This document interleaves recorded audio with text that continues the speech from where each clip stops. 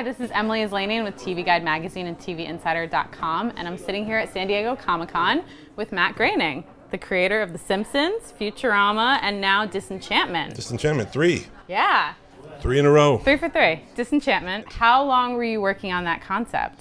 Uh, my whole life, really. I mean, I, ever since I've been reading and uh, hearing fairy tales growing up, I just remember as a kid with my friends, we would, uh, we would somebody had a, a collection of dinosaurs.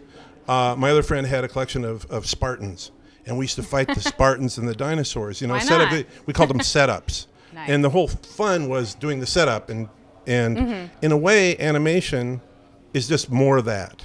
You create your own wor- world, you, you populate with as many characters as you can, and then you set them free.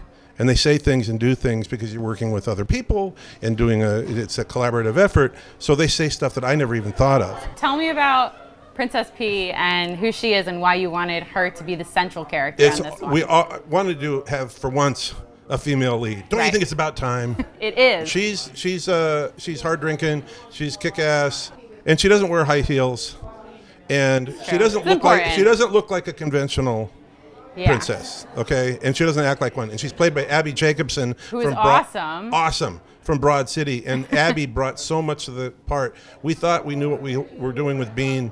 Uh, when we first started, and she came to the part and just added a whole level of feminism that we didn't even great. dream of. Yes. That is so cool. Princess Bean has two companions. Elfo, played by Nat Faxon, Yeah. and Luci, the demon, played by Eric Andre. Yeah. All the three of those main actors have in common is they're all writers, uh, actors, and directors. Right. And so they improvised a lot of the lines. Nice. And then on top of that, we have the cast of Futurama. We have John DiMaggio, who played Bender. He's King Zog. Yeah.